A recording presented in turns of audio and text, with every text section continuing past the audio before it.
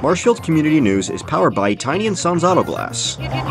Marshfield Boys and Girls Club is a youth serving organization that really provides a safe place for kids when they're not in school. The mission really is building character in young kids, uh, giving them a place to socially recreate, meet new friends, try new activities, programs, and really something that complements their home life and their school life. Today is the ninth annual Marsh Vegas Turkey Trot. It was established nine years ago as a community activity on Thanksgiving morning.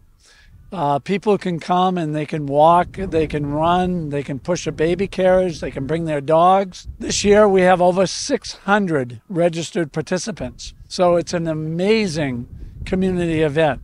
We try to get it started promptly at 7:30. People are done mostly by 8:30 they grab their apple pie from Roche Brothers and they're either back with their family or off to today's football game between Marshfield and Duxbury. It starts here at South River Elementary School and does a uh, uh, basically a four mile loop. A little bit goes off road on uh, one of the trails lovely trails here in Marshfield. The funnest part of today is the community rallying together to volunteer to put this event together. It's family activity, it's fellowship, it's folks seeing their neighbors.